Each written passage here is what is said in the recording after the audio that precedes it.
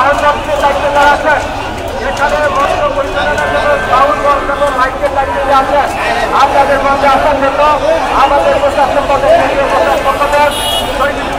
সাথে যোগাযোগ করার জন্য অনুরোধ করছি। আমরা আপনাদের দায়িত্বে আছেন আমাদের